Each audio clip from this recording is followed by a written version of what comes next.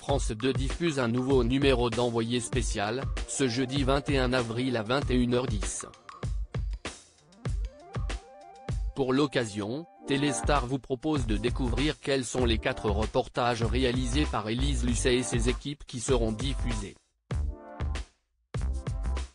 Le premier d'entre eux sera consacré au piège sur Internet dans lequel les journalistes d'envoyé spécial vont remonter la piste des arnaques au placement bidon qui ont fait perdre des dizaines de milliers d'euros à des retraités.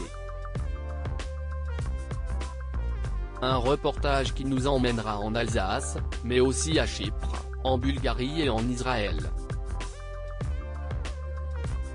Le deuxième numéro de la soirée sera consacré au Made in France et ses chefs d'entreprise qui ont décidé de se lancer dans la fabrication française alors qu'elle n'était plus à la mode. Et malgré les embûches, ces patrons d'entreprise à taille humaine sont parvenus à maintenir l'emploi et le savoir-faire dans leur région.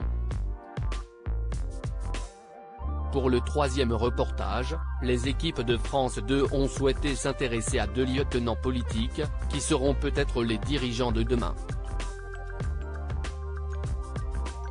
Deux jeunes hommes opposés politiquement mais qui ont rapidement su gravir les échelons, l'un est déjà ministre à 33 ans, l'autre chef de parti à 26.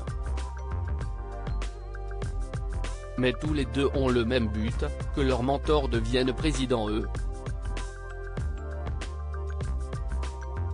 Gabriel Attal soutient Emmanuel Macron, Jordan Bardella soutient Marine Le Pen. Envoyé spécial, la guerre des mots en Russie pour terminer l'émission enfin, le dernier reportage de cette soirée du jeudi 21 avril sera consacré au conflit en Ukraine, et à la guerre des mots en Russie. En effet, depuis le début de l'offensive militaire, le mot guerre est interdit dans les médias russes et les réseaux sociaux occidentaux ont été bloqués. Envoyé spécial tentera donc de comprendre comment font les citoyens russes pour s'informer, à qui ils font confiance, et quelle est leur vision du conflit.